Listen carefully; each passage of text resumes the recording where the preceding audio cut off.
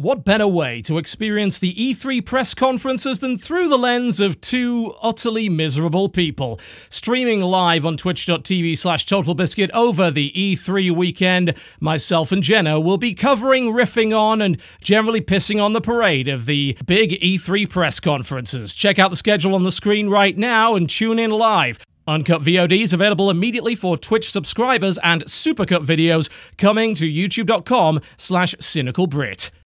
Ladies and gentlemen, my name is Total Biscuit. Let us talk about things that are like Rogue, or more specifically, not like Rogue. Let us talk instead perhaps about roguelite. It is of course possible to discuss the concept of roguelite without talking about roguelike, the reason that the term even exists in the first place. It's a game genre that has a very clear history that can be traced all the way back to Rogue, unsurprisingly, hence the name, and yet is constantly misused, in my honest opinion, to the detriment of accurately describing what a game is. Thankfully, over the past few years, there has been a term that has started to shove this misused genre descriptor out of discussion, which, as far as I'm concerned, a good thing. I do like discussing things in a way that is accurate to reality and the misuse of words and terms in every discussion, gaming certainly not excluded, is a problem for having a good discussion in the first place. The term roguelite is very relevant to anybody that games a lot on PC. You'll have probably noticed over the past few years we have covered a great deal of roguelite titles, some of which I really enjoyed and made my top 10 games of the year, some of which I didn't. It is seemingly impossible to be a PC gamer these days without seeing a game that claims to be roguelite, or more egregiously in some cases, roguelike, every few weeks pop up on the Steam store, and quite a lot of them get a good amount of attention. There was a time when many of these games were receiving hefty Kickstarter backing, and I don't think we have passed the time as of yet where adding rogue light components to your game is a selling point.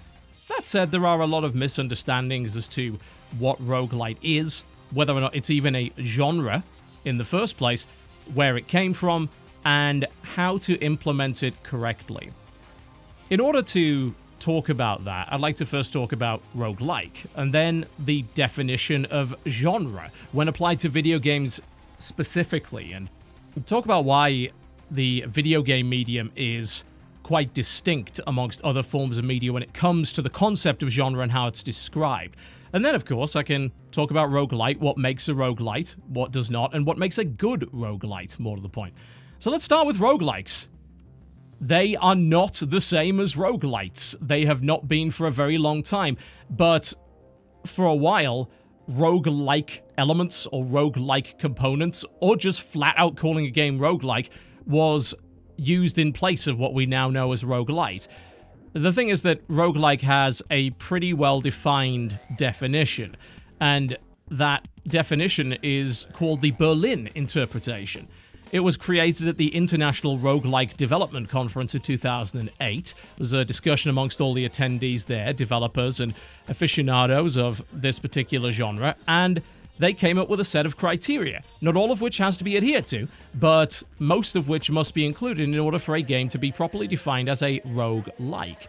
The history of roguelikes, of course, goes back to Like Rogue, the game Rogue, and there are famous games within that genre like Angband, Crawl, NetHack, and Ancient Domains of Masochism. There are still rogue-likes made today, but in my opinion, bearing in mind that I do agree very much with the Berlin interpretation, roguelike is a specific genre. It's not a term you can just toss onto anything, and it does have a set of important components and requirements that are well defined through the history of the genre. There is great precedent for saying this. This was not simply pulled out of the arse of everybody that attended. So, with the Berlin interpretation, what you have are high value and low value factors. The high value factors include random environment generation, permadeath, a turn based nature, a grid based nature, and a few vaguer concepts such as the idea of complexity, difficulty, resource management, hack and slash style gameplay. Of perhaps surprise to some people is what's included in the low value factors, particularly the idea of an ASCII display. traditional rogue-like games such as NetHack and Angband presented the world and the things within it with ASCII characters. So the player character may very well be an at sign. You'll be fighting uppercase P's and lowercase L's and so on and so forth. And really, the reason for that was technological limitations of the time. You're talking about a procedurally generated dungeon that's different every time, filled with a wide variety of items and monsters, without the processing power and indeed artistic ability to properly represent that with real graphics, as it were. So back then, of course, they were represented that way. It is a low value factor for a very good reason, because graphical evolution is something that happens very naturally with genres as we advance in terms of technology and capability. They generally do not define the genre, that's very rare. A first person shooter does not require a certain aesthetic, but it does require a first person perspective. That would be a high value factor in the definition of that genre. Other low value factors include the concept of tactical challenge, the idea of having numbers on the screen, there being dungeons, and a single character. They're not that important, but these other high value factors very much are, and you can clearly define a game by using this interpretation and these factors. Now, the reason why this is important, and the reason that I reject any argument that says that we should not hold both the roguelike genre and indeed any genre to relatively strict definitions is because as you dilute a genre by making it vaguer, by making it less descript and accurate, you simultaneously lose the value of describing it as such to begin with. Accurate genre descriptions are a very important tool for the consumer and necessary in a world where we are drowning in video games. There are too many games, nobody could ever possibly keep track of them all. It's getting worse all the time in that respect. And due to the amount of consumer choice, consumers must be more discerning and be able to figure out what they may be interested in at a glance. Accurate genre descriptors are a key way to do this. So if you take the concept of roguelike but then take away the key aspects of what makes a roguelike a roguelike and has defined it over the course of 20 plus years, then you throw the usefulness of a genre description completely out of the window. It's surprising to see so many people act in such a sensitive manner when it comes to this kind of thing, even down to the concept of calling something a game. I believe there has to be a definition of sorts to describe what a game is. It doesn't have to be a very restrictive one, but it does have to be accurate. And you'd be surprised how many people have really got offended at the notion that something may not be a game. It's entirely fine for something not to be a game. It's entirely fine for something not to be part of a particular genre. One would think that any developer would want happy consumers, that they would want people to discover their product who have a predisposition to be interested and invested in it. But sometimes that's not the case, whether it be simply down to delusion, personal ego, or indeed the deliberate intention to mislead, ride on the coattails of something else fool somebody into checking your game out. And while I can understand that discoverability is very much a problem in modern gaming, that's not the way to do it. That's a way to anger a lot of people. Now, the thing that really interests me when it comes to roguelike as a genre description is that it's extremely indicative of how we treat genres in the video game medium. And honestly, that is quite different to other forms of media. And I do believe there is a very good reason for that. Now, when it comes to genre, genre in and of itself has a fairly loose definition.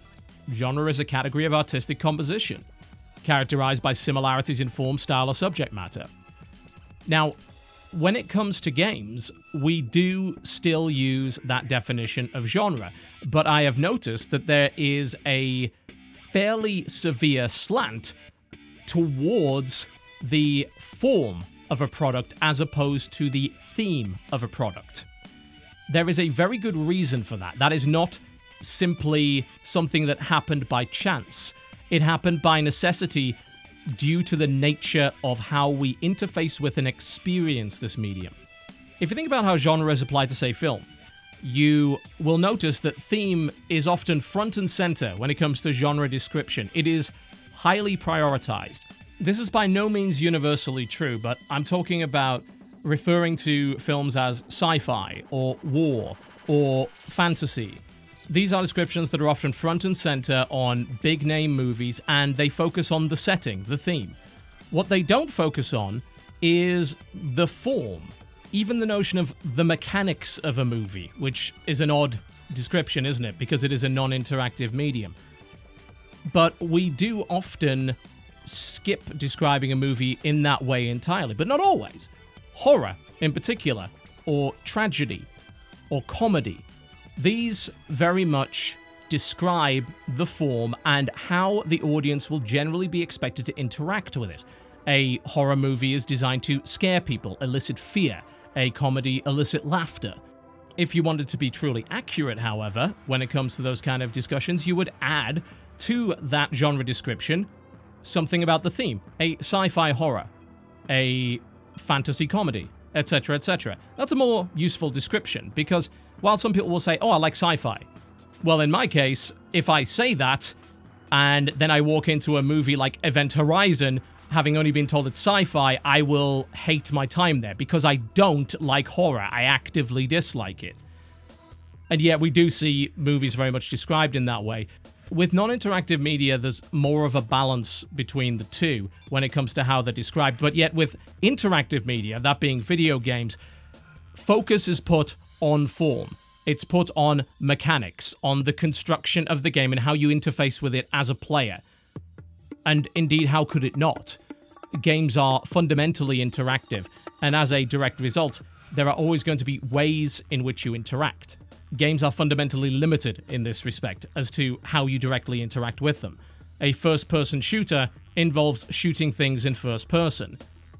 As to whether or not it is a fantasy game, a sci fi game, a steampunk game, or anything along those lines, those concerns are really secondary.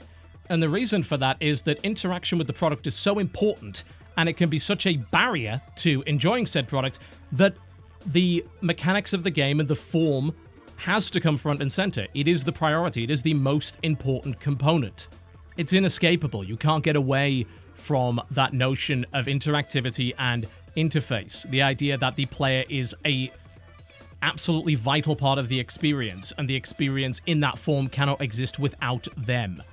As a direct result of this, when it comes to genres such as roguelike, this is why it is primarily defined by mechanics, not by theme. Not by how it looks, but how it plays.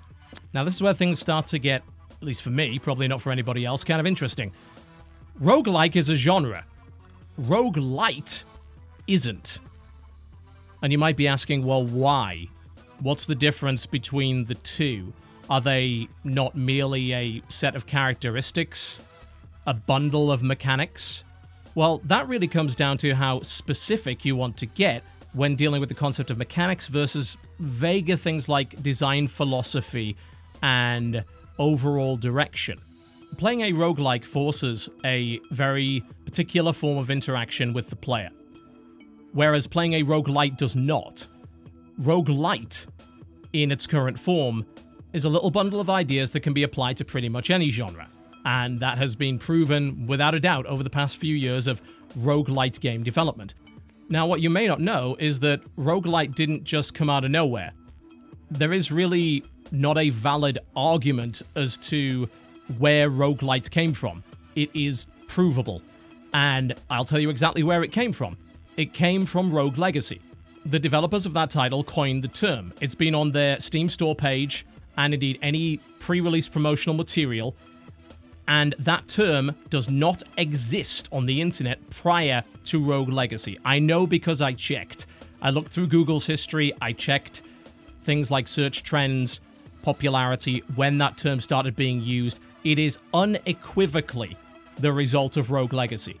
This is why the term sprung up in 2013 around the release of Cellar Door Games' title. They came up with that phrase, they came up with the term. And as a direct result of that, because Rogue Legacy is the father of this term, that is the game that, as far as I'm concerned, gets to define what this bundle of ideas is. It is the game by which we look at everything else that claims to be roguelite and determine whether or not it actually is roguelite. So, what is roguelite? It's not a genre. We know this because of how many other genres roguelite has been applied to. Here is my definition of roguelite, and I will explain why I believe this after I've told you what it is. Roguelite is a set of three design principles that must exist within a game in order for it to be roguelite. These three pillars of roguelite are as follows 1. A degree of procedural generation. A roguelike game must contain some randomly generated element in order for it to be roguelite. This is a high value component of the Berlin definition of roguelike, and that is the reason why we call it roguelite in the first place. You can trace that genealogy all the way back. That exists for that reason. The second pillar for a roguelite is permadeath of some sort. Your character must die in that form and stay dead in that form in order for a game to be roguelite. Again, that is a high value pillar of the Berlin interpretation of roguelike. The third pillar, and the one that is most often misused, in my opinion, and yet is essential, is the concept of meta progression. Progression on an account level, as it were. The idea that each run contributes to the potential for permanent progression or unlocks. Now, this, of course, has nothing to do with roguelikes and is one of the key reasons why it's so vastly different. Why exactly is this there, you might ask? Well, that goes back to who coined the term. Rogue Legacy did it, and a key component, up front and center and even in the title, is the legacy aspect of that game. The idea that when you die, permadeath, you take the earnings of the previous run and they are invested in something which lasts longer than that character, something that is there permanently. That is a key component of Rogue Legacy, in which you took the money that you earned for the previous run, you invested it into your estate, and that gave you either unlocks or advantages in the next run or just increased the overall variety of the game. It gave you access to content that was previously unavailable. Without that element, roguelite cannot exist, because without Rogue Legacy, roguelite does not exist, and that component is too important to ignore. If you leave it out, as far as I'm concerned, your game is not roguelite. It's not merely Rogue Legacy that defines that, despite the fact it has a great deal of influence being the game that coined it there's a pretty clear history of these three design principles being used. Notice I don't say mechanics. There are mechanics within all of these principles, and yet they are not in and of themselves mechanics. The way that you do the permanent progression on the account level consists of a bundle of mechanics that can be implemented in different ways, but the principle remains the same. Permadeath can be handled differently the way that something is procedurally generated and the degree to which it is procedurally generated can also have fundamental ties into the game mechanics, but is a principle in and of itself. I think it's important to pull back from calling it a genre simply because there is such a massive variance in the kinds of games that are described as rogue roguelite and the personal preferences required to enjoy those products roguelike can be applied to things that I love and also things that I really don't. There are a lot of roguelite platformers. Rogue Legacy was one of them. I don't generally like platformers, and if it is a roguelite platformer, it's fairly likely that I will not enjoy it. I need to know that up front. If you just tell me your game is a roguelite, that isn't useful to me, because I can name just as many roguelites I didn't enjoy as ones that I did. And it wasn't simply down to how well the game did that particular genre. It came down to the genre itself.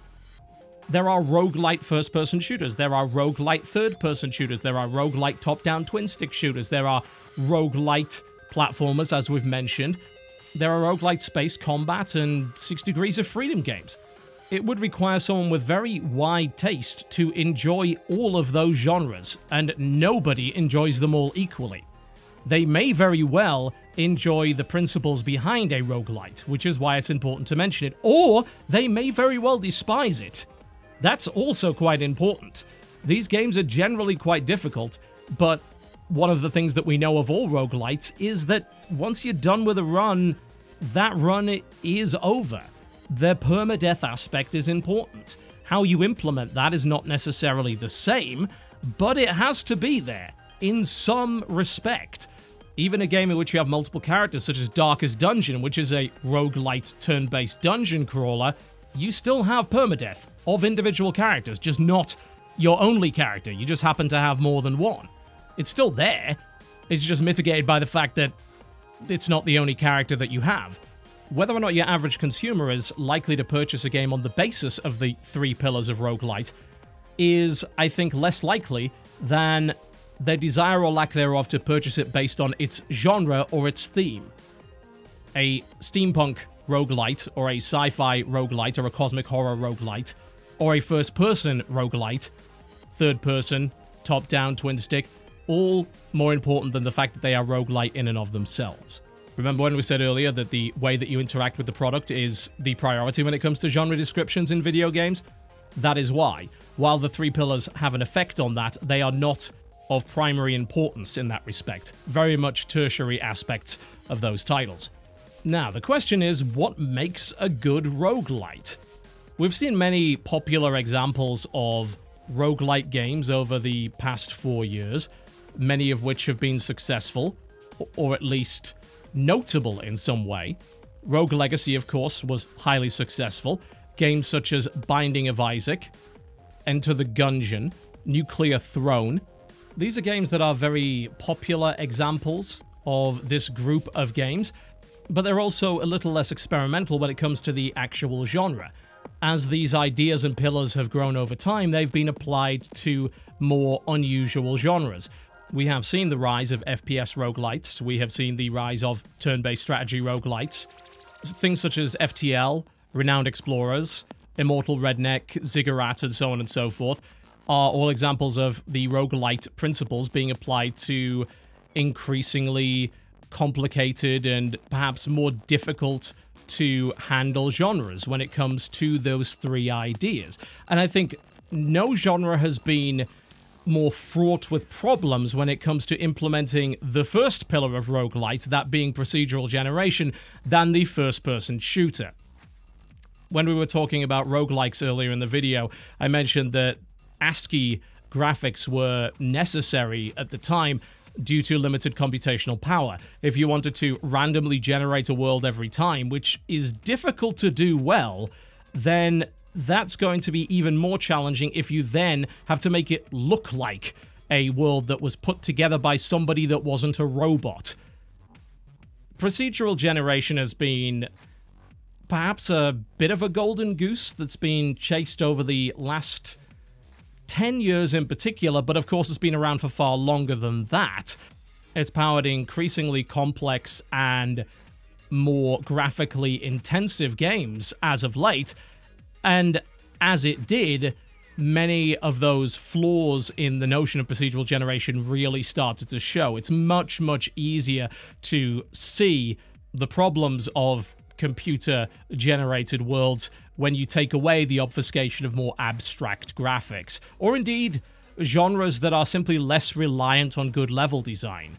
When you're in the thick of it in a first person shooter, that poor level design is far more noticeable than it would be in perhaps a top down twin stick.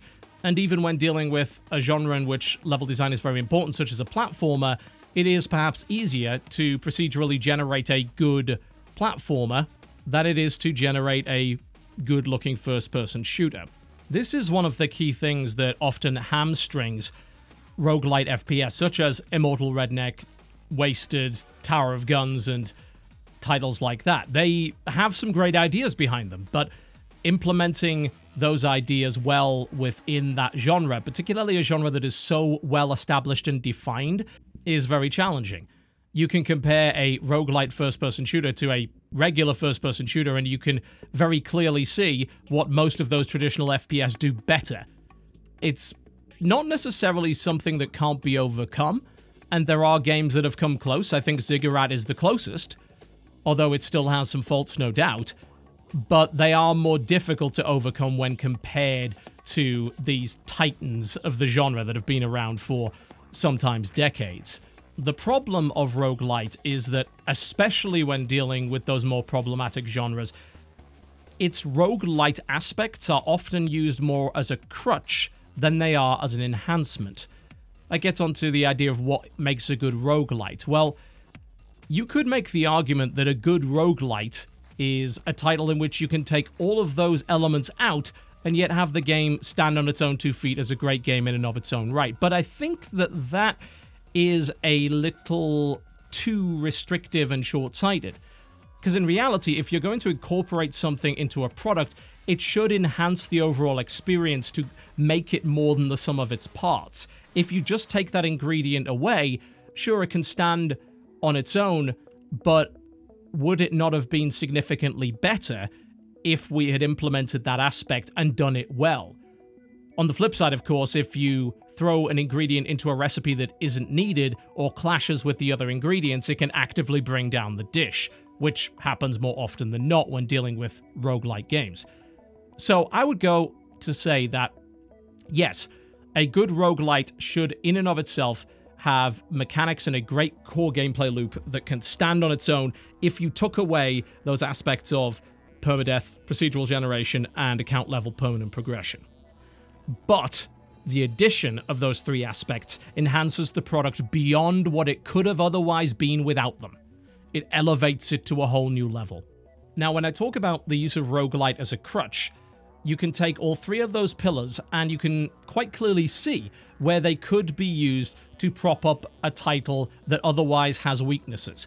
They can be used to hide said weaknesses, try to bury them, try to obfuscate them, or distract the player. Permadeath's probably the easiest aspect of roguelites to identify as a potential crutch. It fundamentally limits the amount of time that you can spend on one particular run in the game. It removes the need to create a continuous 20 hour experience and all of the trappings that come with that, whether it be design challenges, pacing, storytelling, or something as simple as budget. It's relatively cheap to create a title that is designed to be played for no more than 20 minutes in a particular sitting. Of course, you can just go and play another run, but you don't have to create an experience that has a defined beginning, middle, and end when it comes to many aspects of the game itself. Permanent death is a very arcade-like principle. It's something that harks back to the days before continues and save states.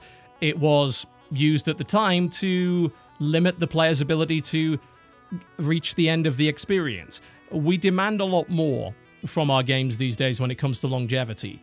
And permadeath is a way of getting that and without necessarily developing the content that would be required to otherwise achieve it.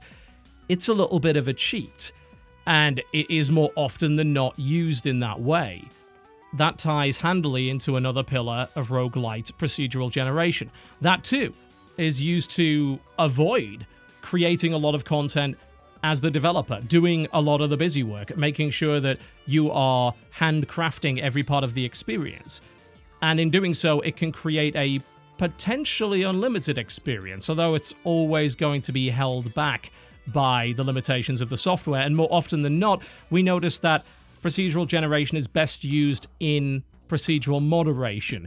It's important to put that hand designed flair in there to balance what would otherwise be a bloody mess in many circumstances. I'm sure many of us remember some of the nonsense that went on in No Man's Sky and how procedural generation more often than not did not result in interesting worlds and creatures. No, it did not.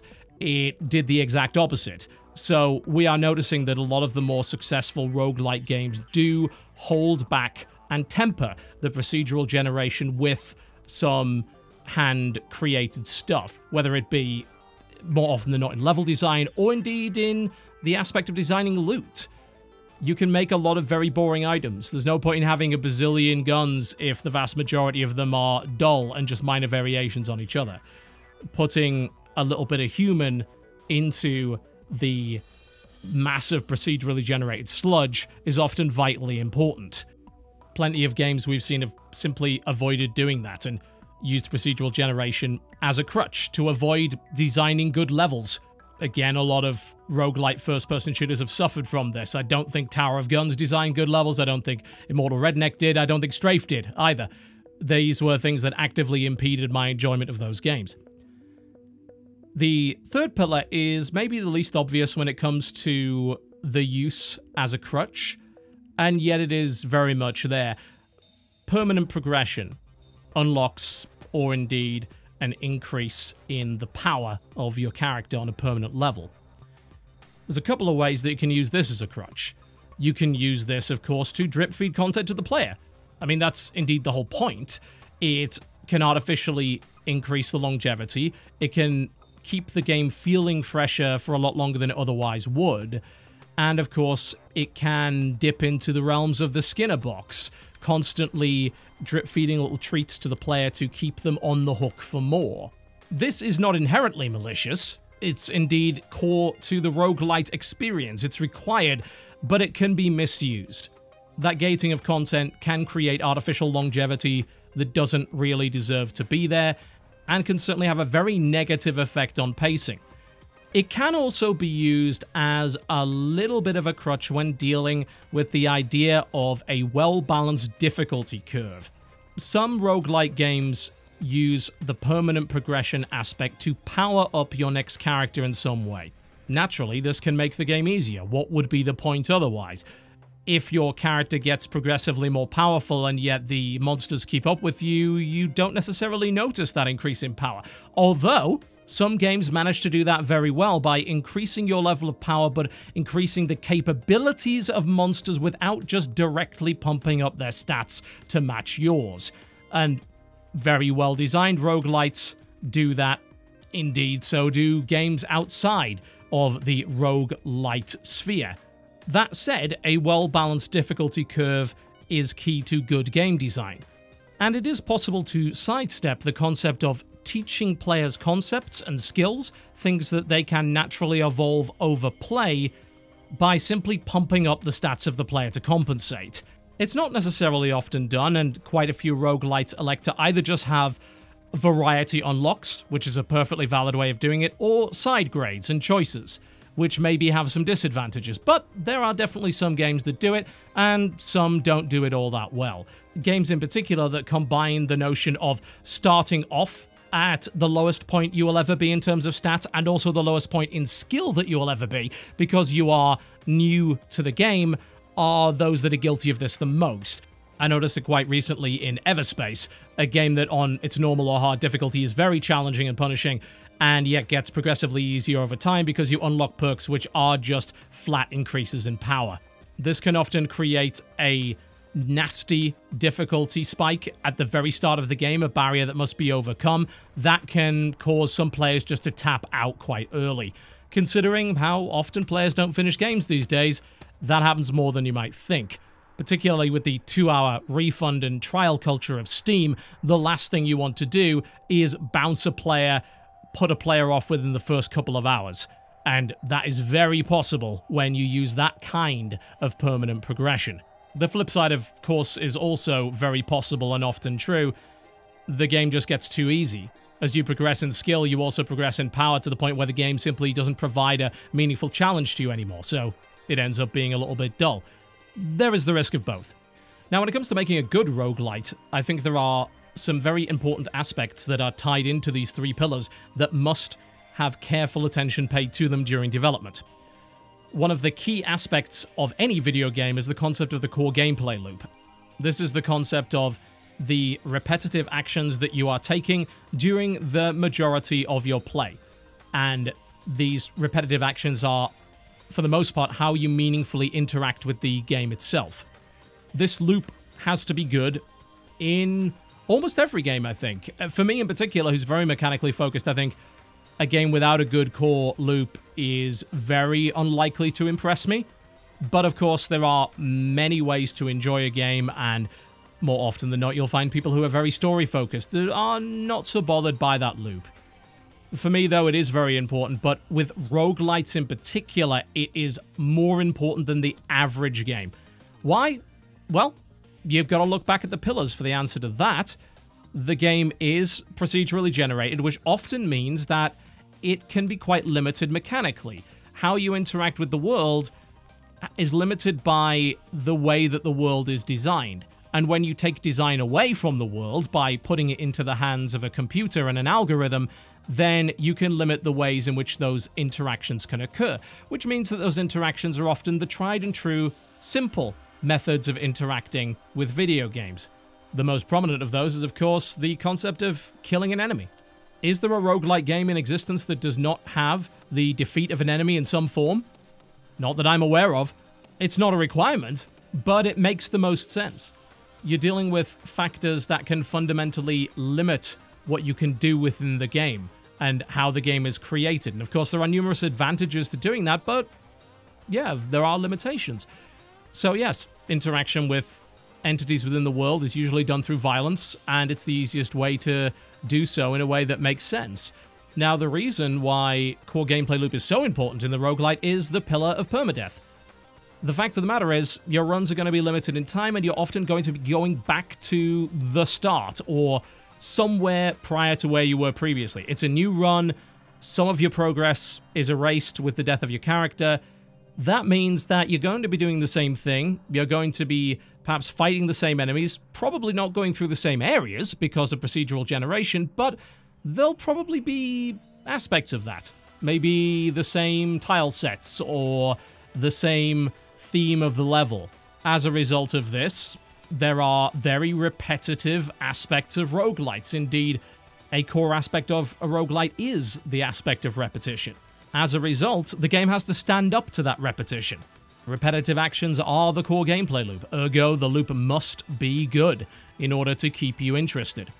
Other aspects that may prop up other video games, perhaps such as the narrative and fundamental choices that you make in said narrative, don't really exist in roguelike games, so you can't rely on them to otherwise save the experience.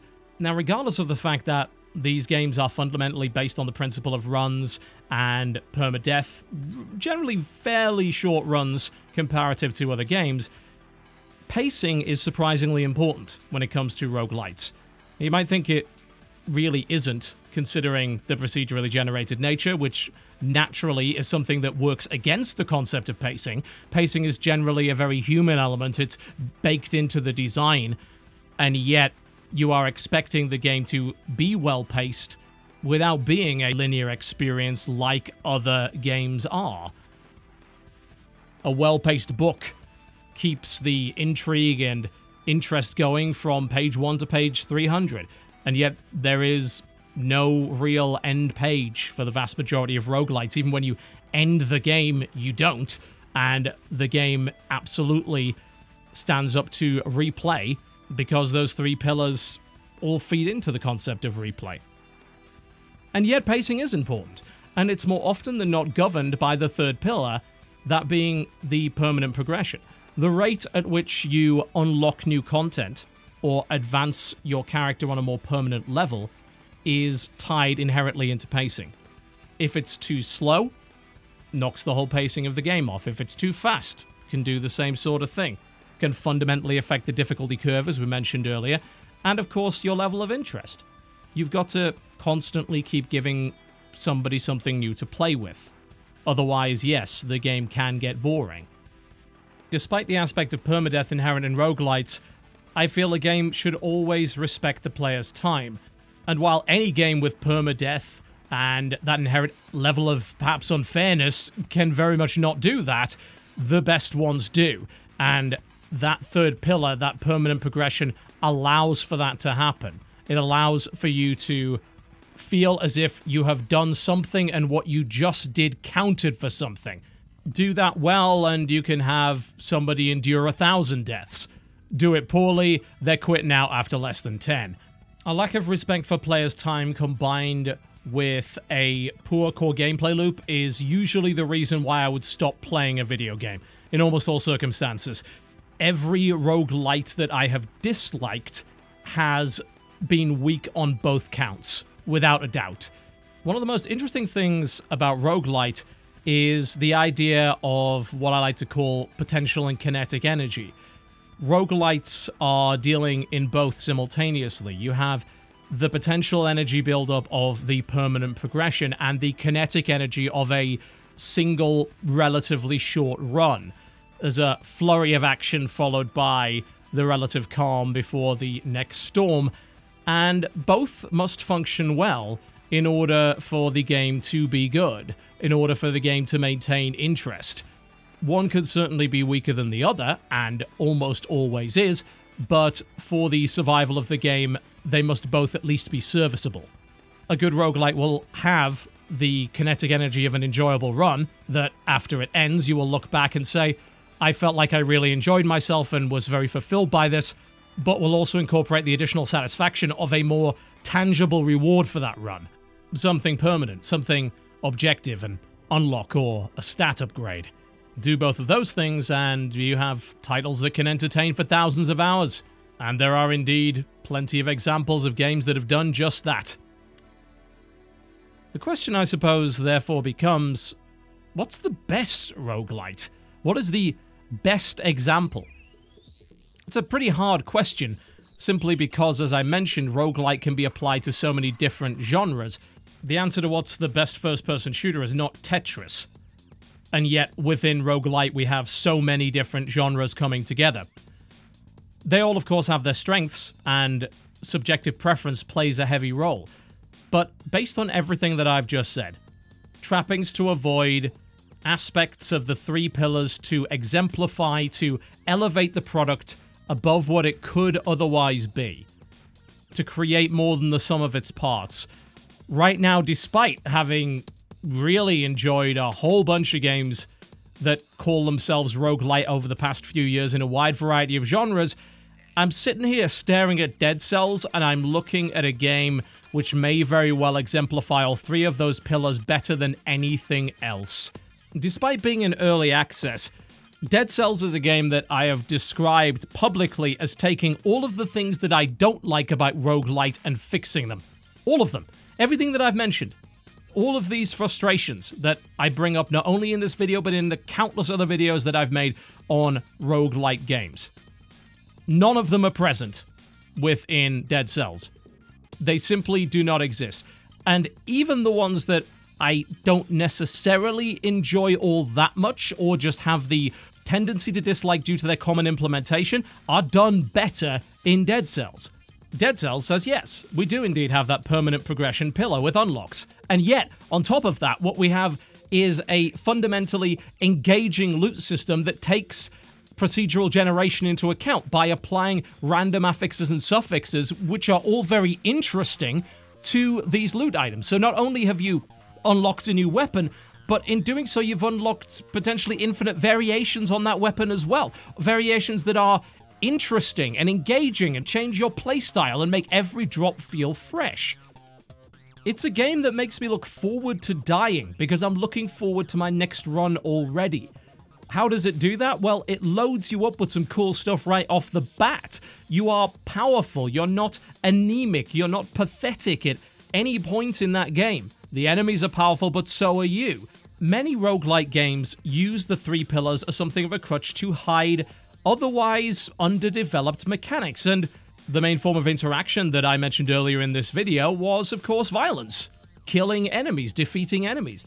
There are titles such as Binding of Isaac, in which I believe the basic combat system and the way you interact with enemies is overly simplistic and dull.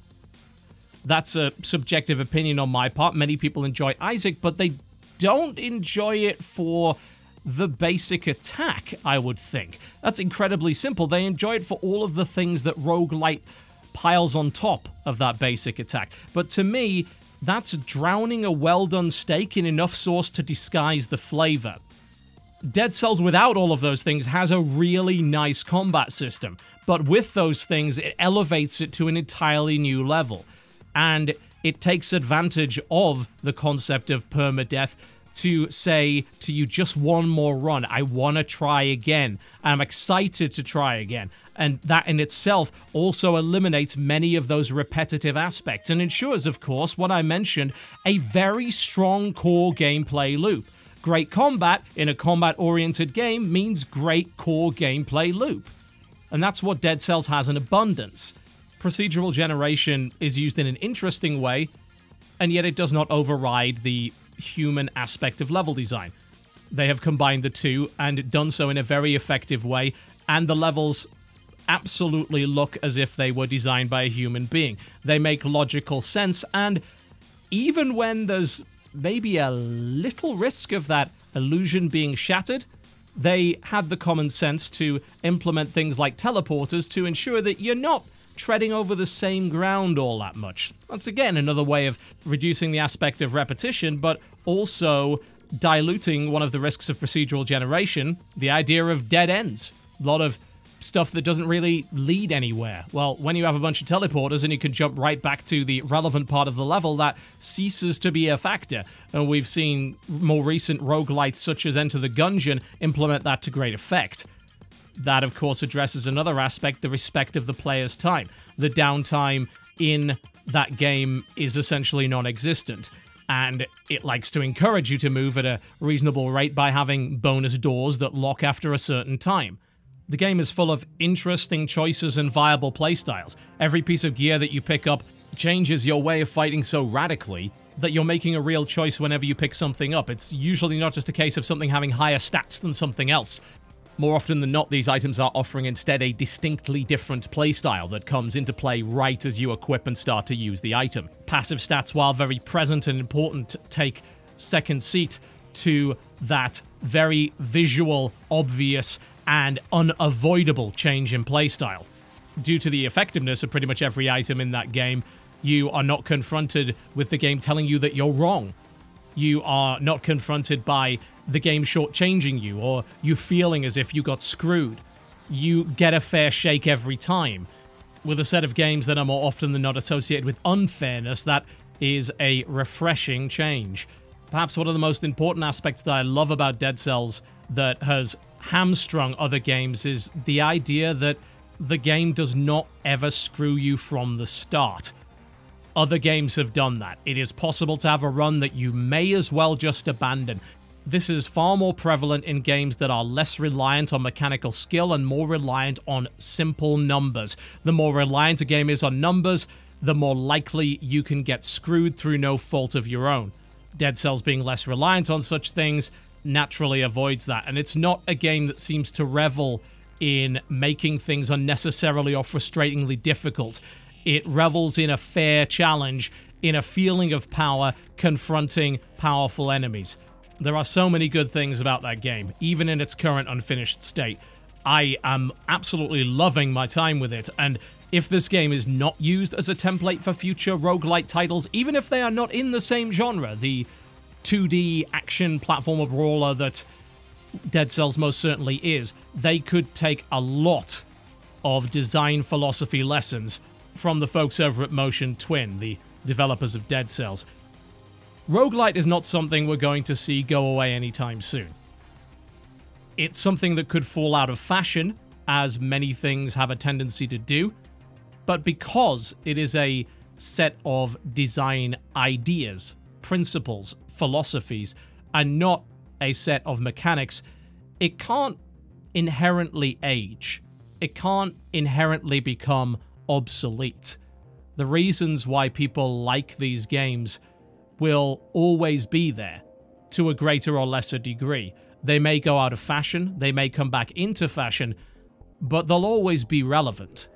Their prevalence at the moment may very well come down to the business realities of the industry as well as consumer taste, which is in many ways dictated by said business realities.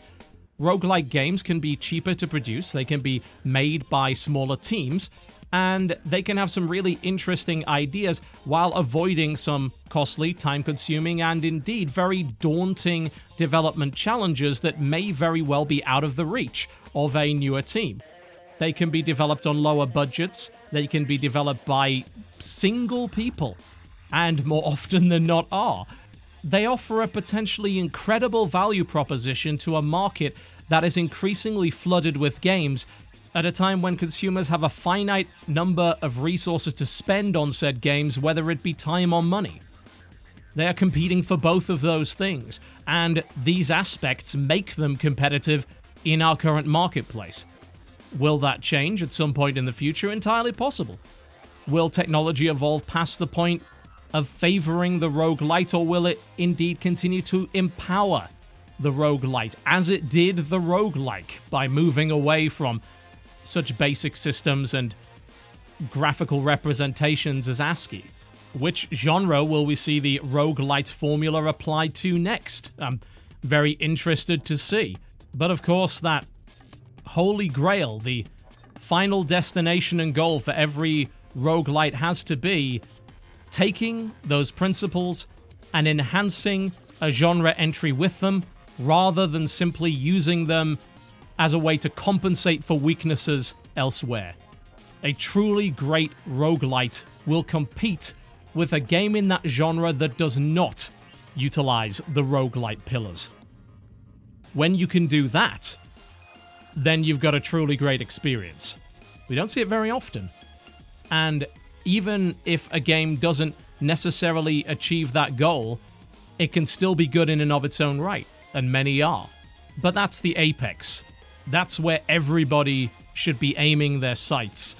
And as more traditionally developed, narratively driven, scripted and linear games become progressively more expensive and complex to produce, more and more people are looking towards these principles as a business reality rather than merely a design one. My thoughts on roguelite, ladies and gentlemen, and the nature of genre in video games. My name has been Total Biscuit. Thank you very much for watching. If you enjoyed this video, by all means, do feel free to click the like button. If not, the dislike button is right over there. And I'll see you next time.